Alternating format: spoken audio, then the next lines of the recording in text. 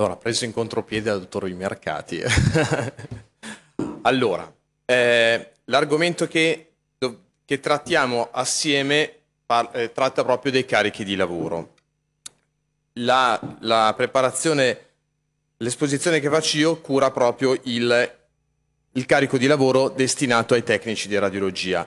Allora, per questa relazione abbiamo fatto riferimento al modello che è stato preparato dalla nostra federazione nazionale assieme alla società Sago, che è una società che si occupa di organizzazione sanitaria, eh, facendo riferimento a un analogo lavoro che è stato fatto in un periodo tra il 95 e il 97 dalla, eh, dalla SIRM eh, per definire eh, un metodo di analisi per la produttività del, dei medici radiologi.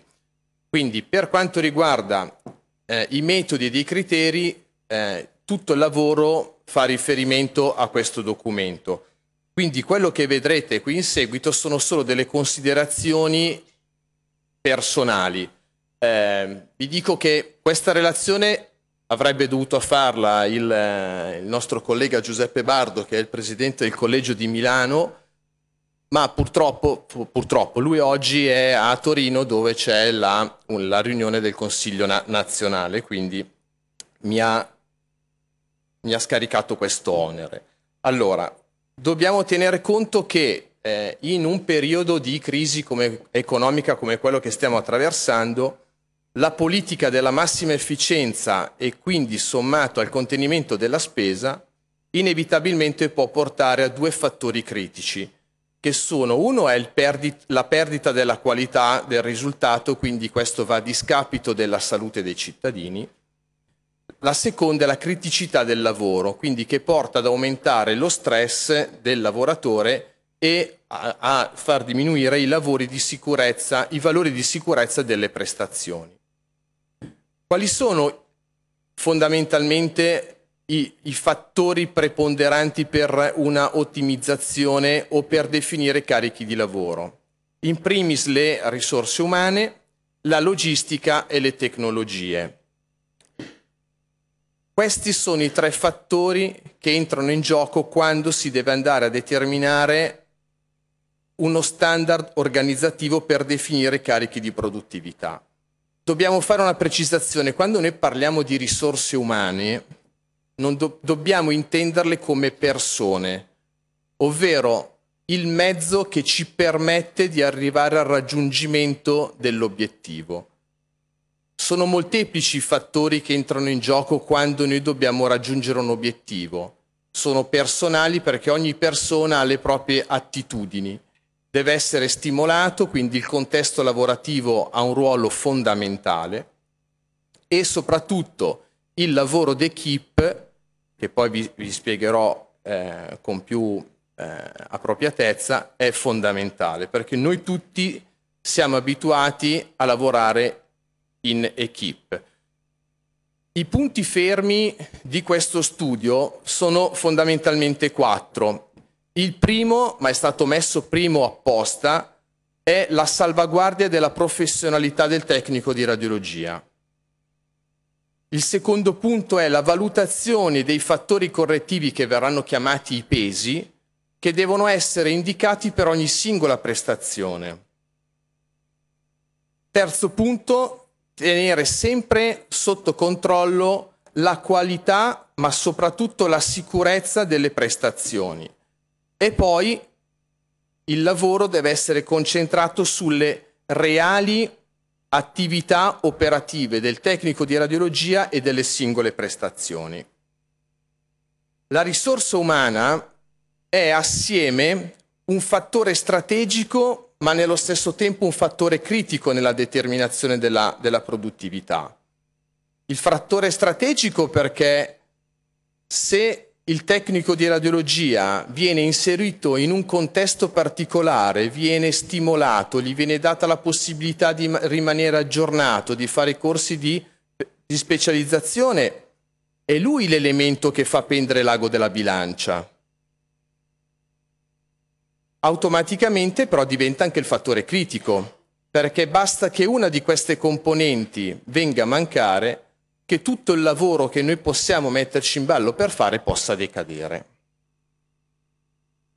Come vi dicevo prima, le risorse umane e quindi la persona, perché dire, chiamarle risorse umane è un po' denigrativo, le persone che entrano in gioco sono molteplici.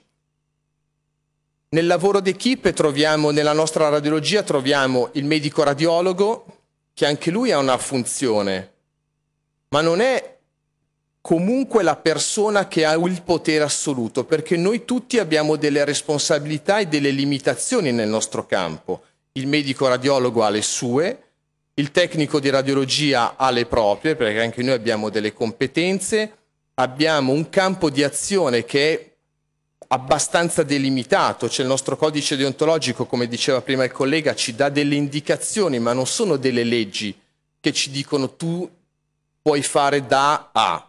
No, perché poi comunque in ogni realtà questo fattore può essere eh, ampliato o riduttivo. Poi ci sono i lavori di attesa, tipo nella sala operatoria è importante che ci sia il tecnico di radiologia, ma poi noi siamo lì come pers- persona fisica a disposizione della, eh, del, del, dell'ortopedico, del chirurgo, quindi riuscire a fare poi una valutazione dei carichi di lavoro in sala operatoria diventa molto difficile. Noi sappiamo che ci dobbiamo essere. Quali sono poi i lavori che contribuiscono alla produttività? La gestione del paziente, certamente, eh, questo richiede tempo, l'uso della tecnologia nell'arco degli anni è molto aumentata, ma dobbiamo tenere presente che il rapporto con il paziente ha bisogno di tempo e la tecnologia questo tempo non riesce a darcelo.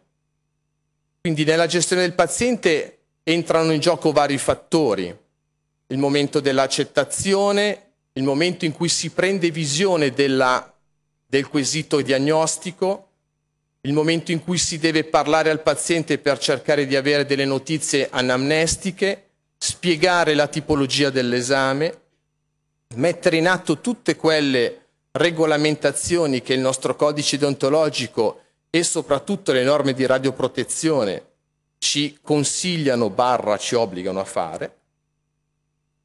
Poi c'è la preparazione del, dei materiali e l'assetto della sala, anche questi sono fattori che dobbiamo tenere presente quando si vanno a definire carichi di lavoro. I controlli di qualità sulle apparecchiature, uno dice ok, una volta c'erano le sviluppatrici a liquido, quindi ci si metteva più tempo.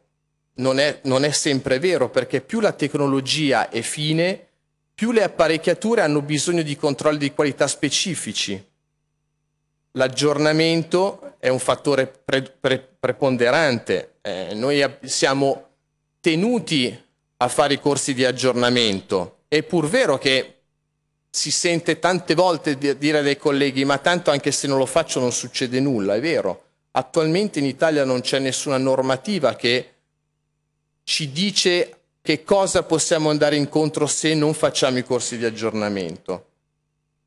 L'affiancamento agli studenti ai neoassunti, anche questo implica una valutazione di tempistica, rientra comunque nel nostro codice deontologico ed è un atto dovuto per i nostri futuri colleghi. Quali sono poi le altre variabili che entrano in gioco nella definizione dei carichi di lavoro? Sostanzialmente dei fattori logistici e organizzativi. I fattori logistici è in primis il rapporto spogliatoi-sala di attesa che se sono inferiori a 2 per ogni diagnostica, questo studio che è stato fatto ha quantificato un aumento del 10% della determinazione del tempo esame. L'età dei pazienti, pazienti che hanno un'età inferiore ai 10 anni e superiore ai 70 anni, hanno bisogno di più tempo e quindi implicano un aumento del tempo di circa il 30%. Le tipologie delle richieste, le richieste in er-, emergenza urgenta, e urgenza, implicano un aumento dei tempi medi definiti del circa il 25%. E poi i fattori organizzativi che riguardano prevalentemente l'attività di coordinamento del reparto, sono stati quantificati circa in 10 minuti al giorno. Questo è uno schema che è stato eh, estrapolato dal lavoro fatto dalla federazione. Allora, tengo a precisare che questi sono tempi medi, non devono essere presi come dati certi e assoluti, perché devono essere valutati da situazione a situazione. Esempio, nella definizione di una radiografia del torace, che lo studio ha quantificato in una durata media di 8 minuti, ci sono alcune considerazioni da fare, tipo che tipo di tecnologia abbiamo all'interno di questa diagnostica? Quanti spogliatoi abbiamo per questa diagnostica?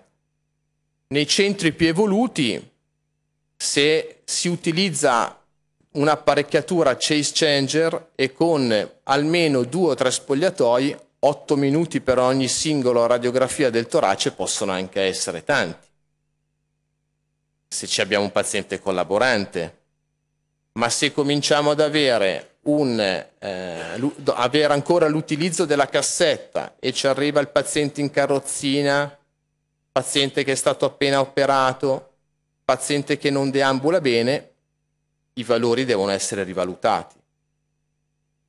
Gli esami di muscoloscheletrica si vede che gli arti superiori, quindi eh, il, il, gli arti superiori, il cranio, la colonna, le coste, la clavicola e le anche, è stato quantificato un tempo di circa 15 minuti, mentre per gli altri arti inferiori, il bacino e eh, le anche, il tempo diminuisce. Perché? Perché sostanzialmente si perde meno tempo per preparare il paziente.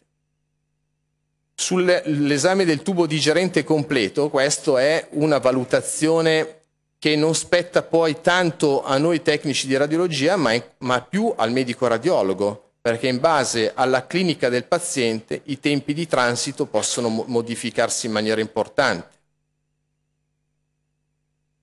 L'esame di mammografia quantificato in circa 15 minuti. Anche qui dipende dal tipo di tecnologia. Se abbiamo un mammografo digitale, il lavoro è semplificato.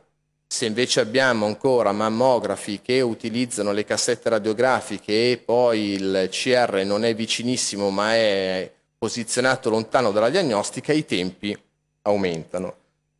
Stessa cosa anche per quanto riguarda le risonanze magnetiche, dove uno dice ma come mai c'è una differenza di soli 5 minuti tra una risonanza magnetica e una risonanza magnetica col mezzo di contrasto?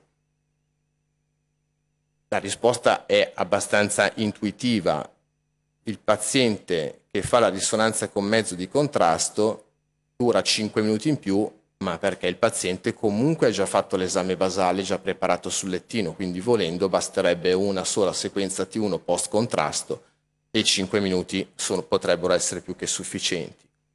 I valori che comunque dobbiamo tenere presente per, che sono le variabili, oltre a quelli che vi ho detto prima, ci sono gli esami che vengono svolti in corsia, ed è stato quantificato un aumento del tempo pari al 100% del singolo esame standard che è quello del torace. I pazienti ricoverati hanno un aumento delle prestazioni del 10%, mentre gli esami che vengono fatti in corsia in ambienti diversi dalla radiologia hanno un aumento della tempistica del 200%. Quindi, come vi dicevo prima, la tecnologia è vero che è più veloce dell'uomo, ma la relazione con il paziente pretende il suo tempo. L'uso di tecnologie digitali sicuramente favoriscono le cattive condizioni logistiche.